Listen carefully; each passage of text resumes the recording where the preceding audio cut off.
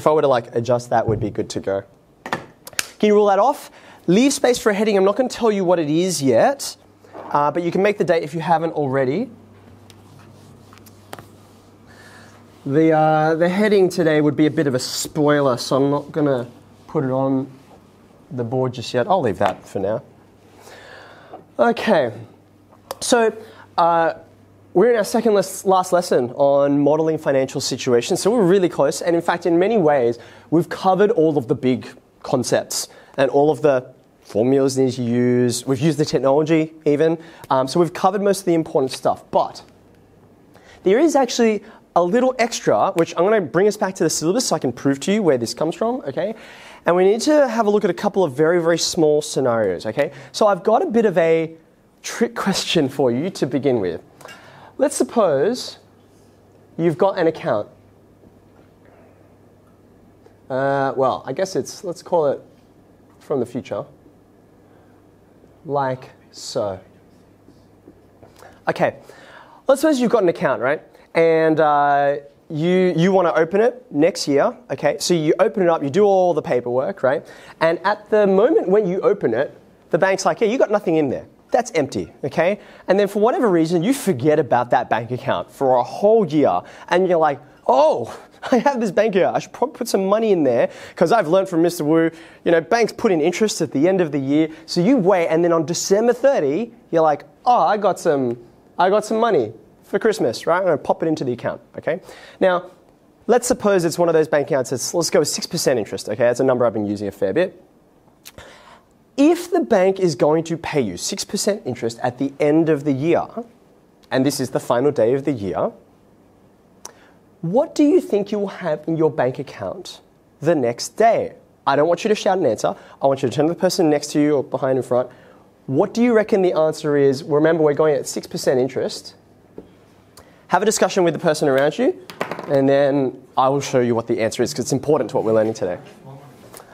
All right, so that, that was enough discussion time, right? So I don't want you to call out an answer, but I would like you to raise your hand if you have an answer to this question, even if you're like, eh, I'm not that confident, but I think I've got something. Hands up.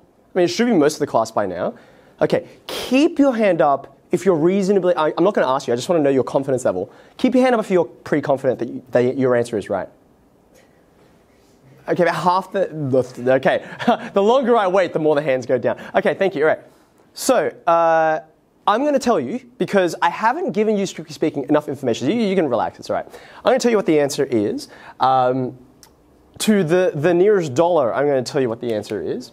And it's $100. Now, some of you are like, what?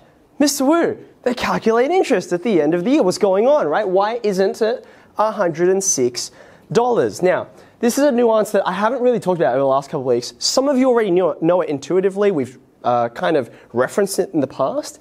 But even if we are calculating interest and paying it annually, just because it is paid at the end of a year or at the end of a month or whatever compounding period it is, right? That doesn't actually mean they are only looking at it at that one point in time. They're actually checking it all the time. Most banks, it's once a day, right? They don't give you that amount of money because, like, oh, hooray, four cents, right? But what they will do is they'll check to see when you put that money in. Now, based on what I've sort of illustrated here in this sort of contrived situation, most of the time your bank was your bank account was empty. There was nothing in there. Right? Does this make sense? So because the bank didn't have access to that money from you, like you're lending money to the bank, they're not going to pay you interest for money that they didn't have for 364 days in the year. Does this make sense? So, I mean, yeah, you'll get a day's worth of interest, okay? But actually, for most of the time, that bank account was zero, so they ain't paying you, okay? Um, think back to that question we did yesterday. Do you remember?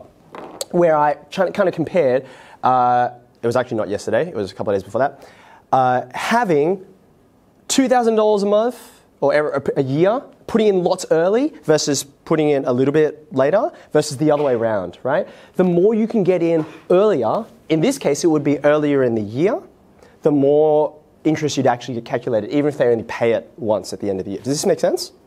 Okay, now this is very important for the actual thing that we're going to have a look at today. So I want you to imagine a really simple amount of money, which is just a dollar. Okay, what I want us to do is go back to this same situation. Imagine we're not investing $100, but just one. You'll see in a moment why I've chosen such a small amount of money. Okay, one dollar. I'd love us to work out what will the future value be if we invest the money like so, okay? 6% per annum, we're investing at the end of the year. I know that's a little bit different from how we've been doing it in the past. Usually we say stick it in at the start so you know it can actually earn interest throughout the course of the year, okay?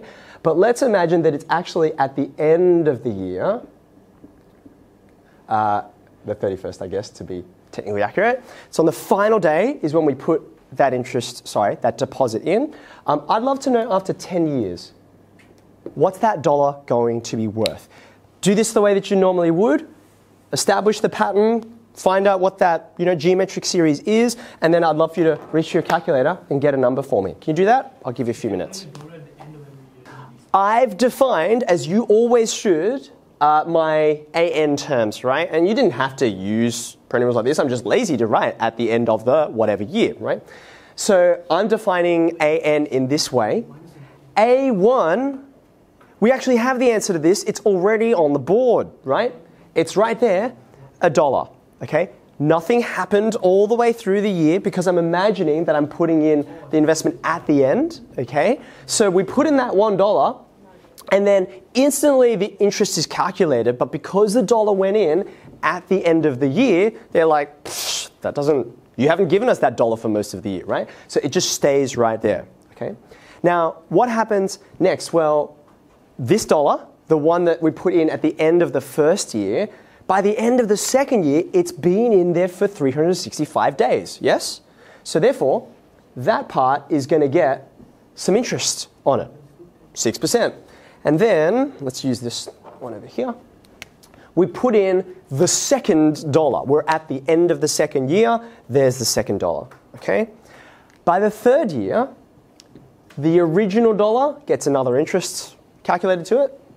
The second dollar also gets that, that interest calculated. And then here comes the third dollar at the end of the year, and then it just kind of stays put. Okay? So by the final one, having a look at where our numbers are, right?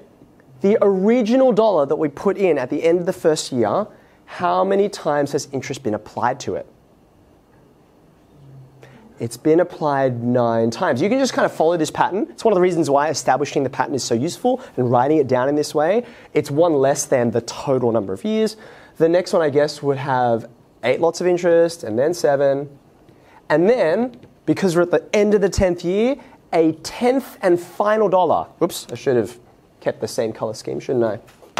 A tenth and final dollar goes in. Okay. Now at this point, um, I know what this is all equal to if I use the formula, right? So just be careful. I'm going to do it backwards because it's easier to think about. There's A, the first term. What goes up here in the brackets? How many terms do I have here? I have 10 terms. It's easy to mistake because I end here at 9, but this one is, is the zeroth one, okay? So I should have 1.06 to the power of 10, take away 1, and then we just finish off the formula like so, right? Now I asked for a calculator readout. This is 13 point what? 1, give me a few more. 079, that'll do. I think that's enough, okay. So this value here, right? This is, uh, actually, I should have written not AN, but A10. This is at the end of 10 years what the bank account should look like for $1. Okay? Now, I said before that I would tell you why I chose such a small amount. If I know what happens to $1, I can know what happens to any amount of dollars. If I change this to 100 like in our original situation, all I have to do is multiply this by 100. It goes back to that original principle of $100 in one place earns exactly the same interest as a dollar here, dollar here, dollar here, dollar here if I had it in 100 different bank accounts, okay? So each individual dollar can be treated independently, as it were. So if I know a dollar, I know it for anything, okay?